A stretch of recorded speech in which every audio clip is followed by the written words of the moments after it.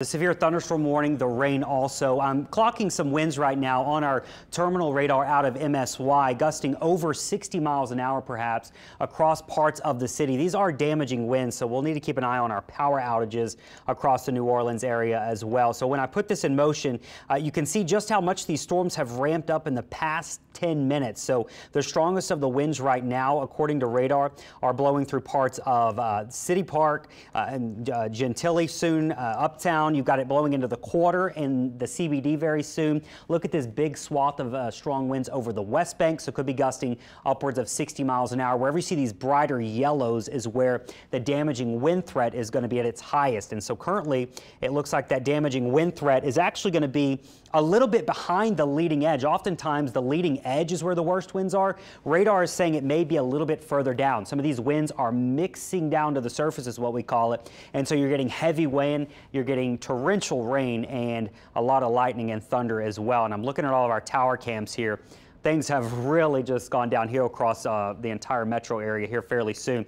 Uh, this is a live look 500 feet up. I was just showing you the shelf cloud. It's long gone because the worst of the rain has now moved uh, into that part of the area. Uh, when we look at our metro winds here, we were talking about we gusted to 47 about 10 minutes ago out at Kenner. Now the storm has increased in intensity since then, so that's why we're thinking winds could be gusting upwards of 60 miles an hour across the New Orleans metro right now. So winds are rocking and rolling. You've got the heavy rain. none of our sites are reporting anything substantial right now, but uh, it's one of those things. Have they updated? We don't really know for sure. So we'll wait for these to update and keep an eye on our on our, uh, our winds here across the New Orleans metro. But we've got two problems right now. We've got strong winds.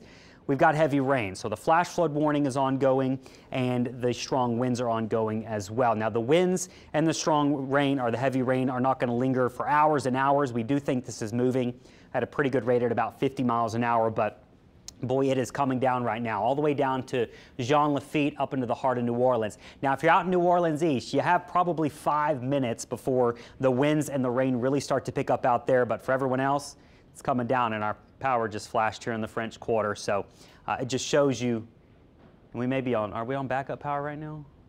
I don't, I don't know. It's, it's rare when the power goes out in the French Quarter. So let's just put it that way, that if we are seeing power outages, we are on backup power.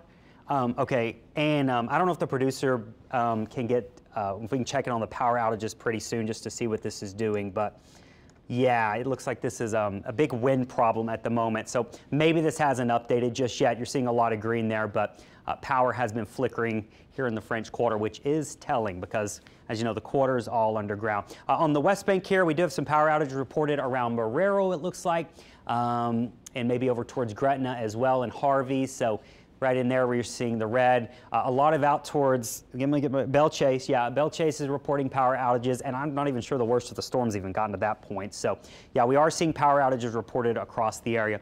Uh, let's go back to radar very quickly because um, it is moving. This is the good news. It's moving, but it's causing so many problems as it's intensified right over the New Orleans metro here with the winds now gusting upwards of about 60 miles per hour. So if you do lose power, and um, it's a good idea to have us streaming on your phone. You can watch us there. Uh, if you lose us on television, you can watch us on WWL Plus, but your best bet is going to be streaming us somewhere if you do lose that power.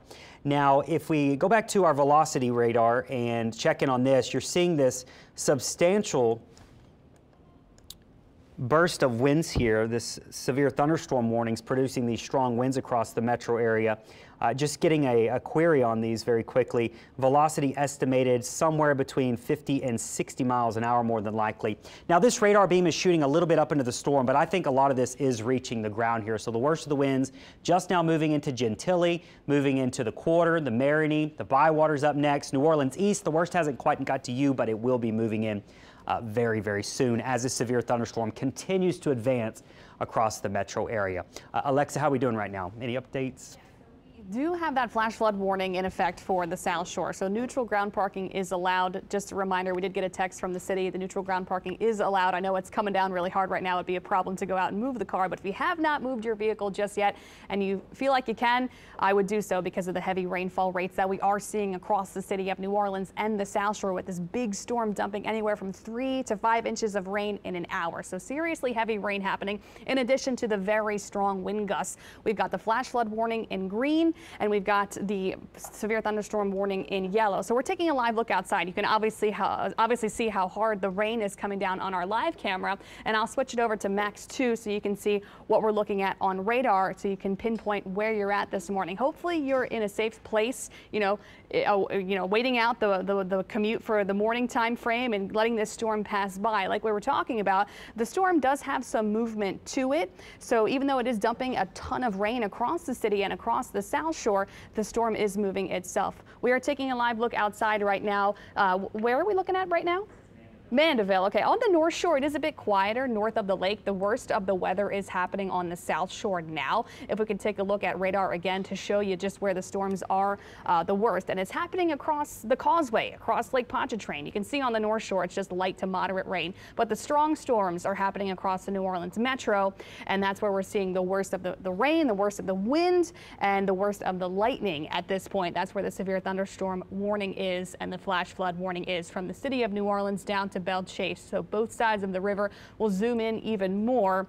Kenner to Metairie to over to City Park through uptown New Orleans. That is where the heavy downpours are happening now and the very strong wind gusts. And we were showing you that feature before of the winds and I can show you just what it's looking like at this point. The velocity uh, anywhere from 40 to 50 mile per hour winds um, coming in there with this storm. So that is some strong winds could knock out some power. And we're actually getting some power flashes here uh, in the French Quarter on our studio or at our studio. We've got some power flashes you know, we're still good on power, but you can see just how powerful these storms are coming in right now. So